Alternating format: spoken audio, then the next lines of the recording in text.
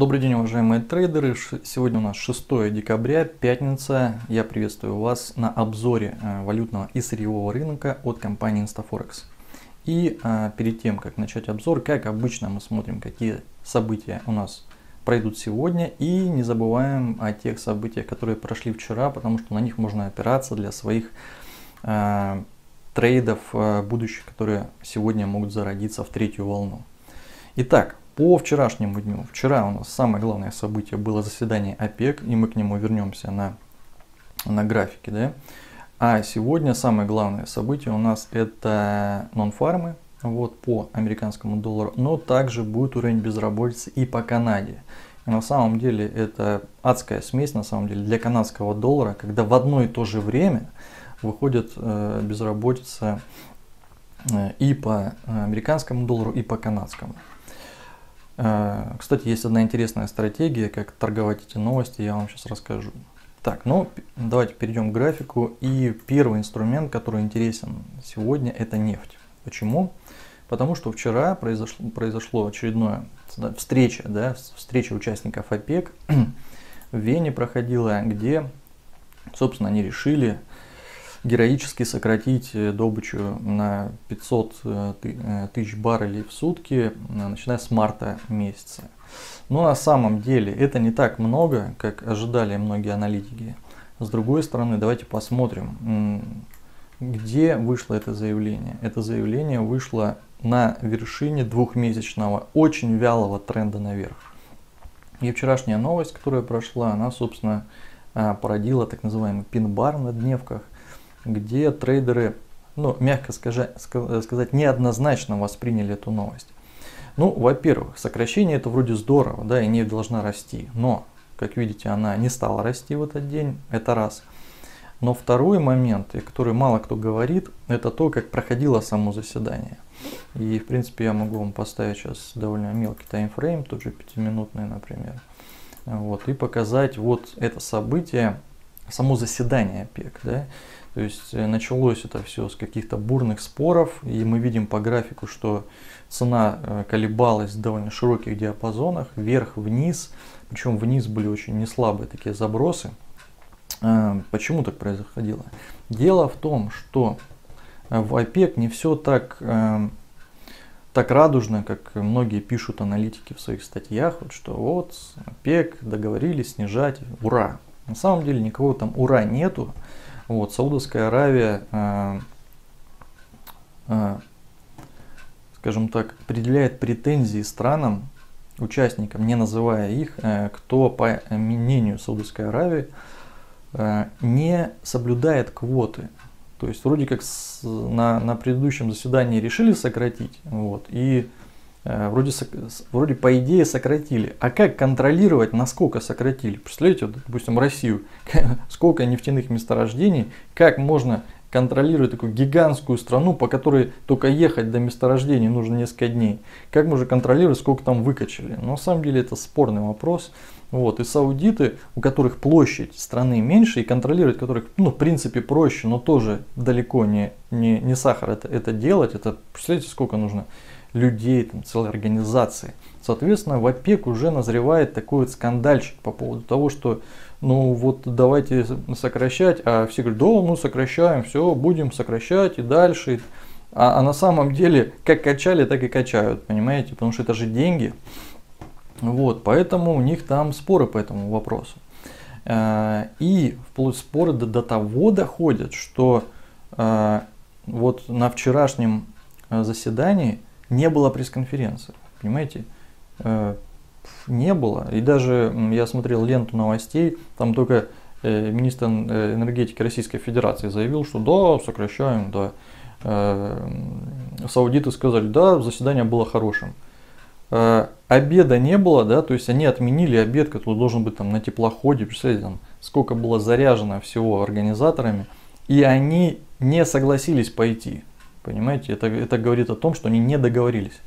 Если вы знаете э, арабов да, и понимаете, как, как, они, как они действуют, они, скажем так, у них такая есть особенность. Они никогда не соглашаются на первую цену. Вот. Но э, обманывать у них там, ну, как бы совсем не, ну, не принято, да, то есть они могут схитрить, но не обманывать. Вот. Поэтому они, они за честный бизнес. Да? И если их что-то не устраивает, они встают и уходят.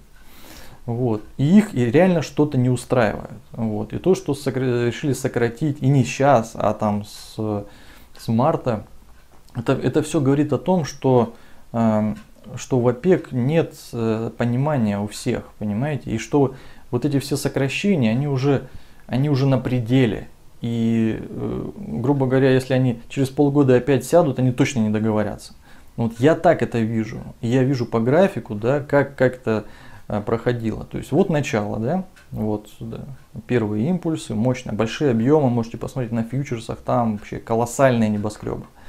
Вот. А вот импульс, видите, вниз. Это то, когда они отказались от пресс-конференции. И дальше фуршета на теплоходе тоже не было. То есть вот это движение, все, это негатив, с которым они ушли с пресс-конференции. Ну, не с пресс-конференции, со своего заседания. То есть фактически просто разбежались. И на этом фоне я считаю, что работать на понижение курса нефти было бы наиболее логично. С одной стороны, на дневках вся эта шумиха происходила довольно дорого, да, ну, относительно. Два месяца рынок рос, и, как показывает практика, он рос на ожиданиях, что вот, что вот они сейчас договорятся и снижут, снизят, допустим, там, на полтора миллиона баррелей, да, там, или там, на миллион, вернее, ну, тысяч баррелей в день.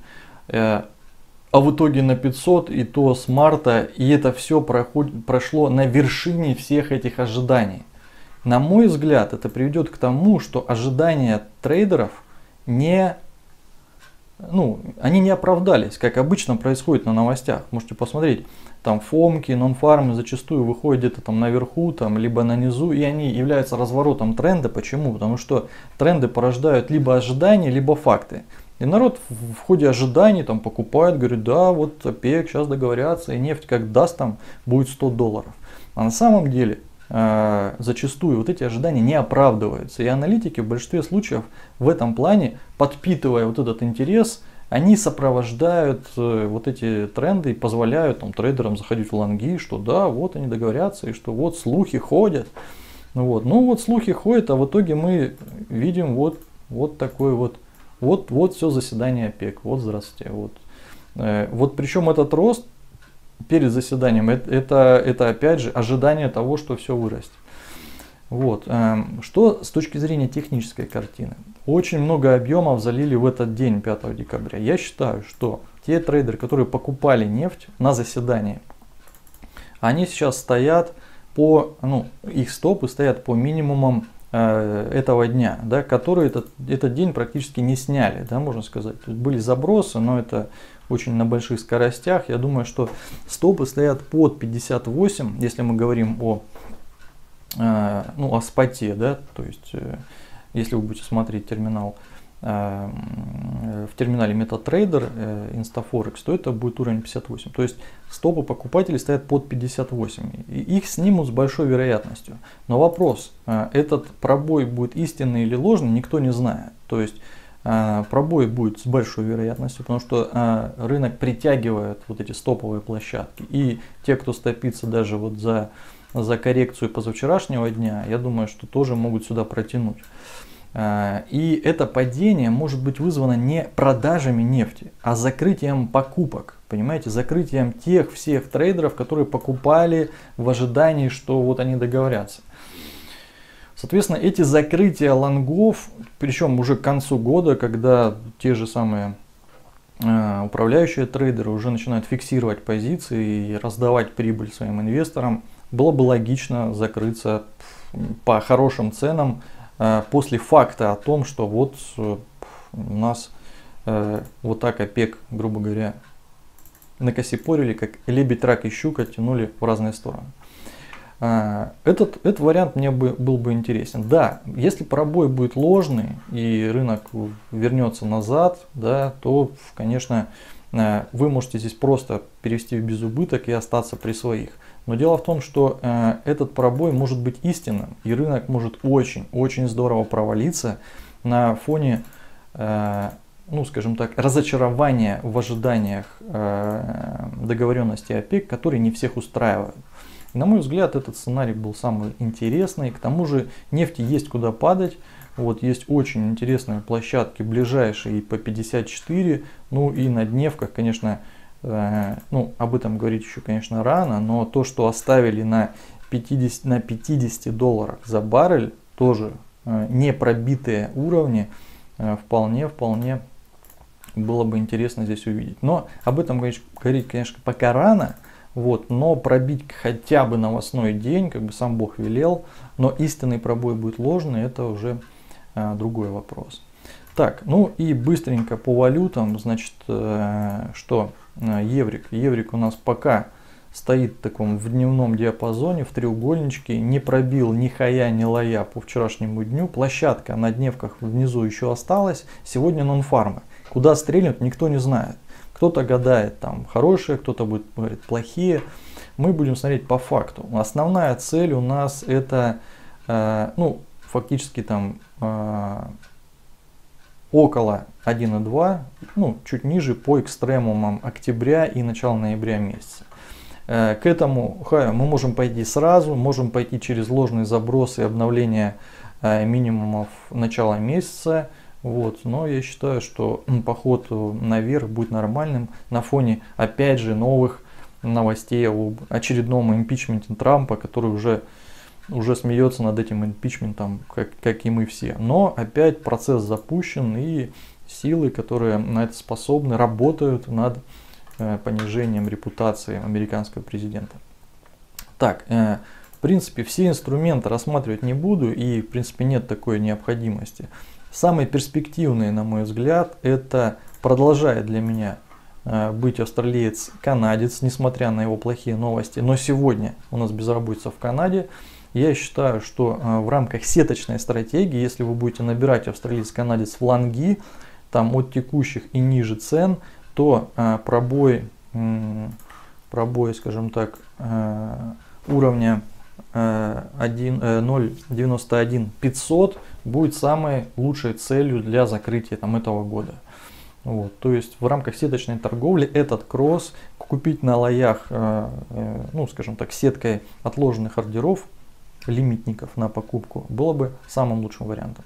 Так, что касается э, сегодняшнего фаворита дня, доллар э, американский против э, канадского, на самом деле план, э, план на понижение сохраняется, но я э, считаю, что э, от, отработать можно э, в, этом, в этом инструменте может произойти три сценария. Первый, э, допустим, сегодня, напоминаю, 16.30 у нас безработица по Эм, а, американскому и канадскому доллару ну, по этим странам.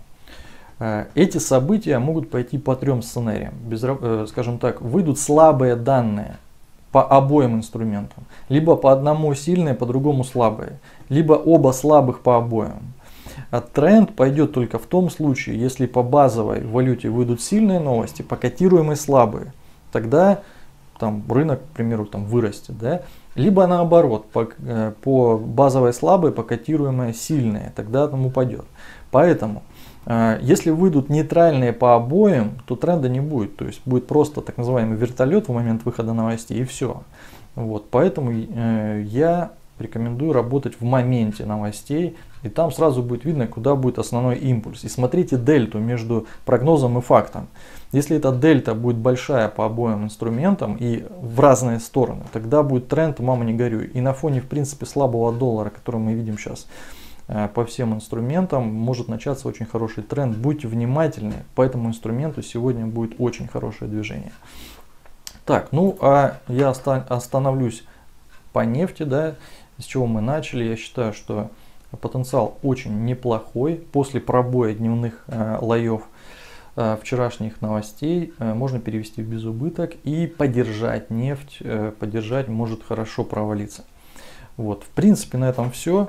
Э, аналитику я на сегодняшний день закончил. Впереди у нас длинные выходные. Хорошо отдохните. Вот, и с понедельника продолжим аналитику в последнем месяце этого года, который будет очень насыщен на события и волатильный, как обычно это происходит в конце года, когда трейдеры начинают фиксировать свои длинные позиции, ну я имею в виду долгие позиции. Это приводит к большом, большой волатильности, на которой э, наша задача заработать деньги. В принципе, на этом у меня все. Всем спасибо, хороших выходных и до понедельника.